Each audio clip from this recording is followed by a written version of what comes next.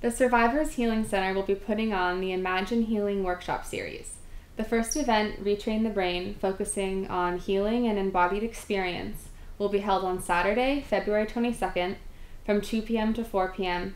at the Louden Nelson Community Center at 301 Center Street in Santa Cruz. To find out more about this event, you can visit eventbrite.com or survivorshealingcenter.org.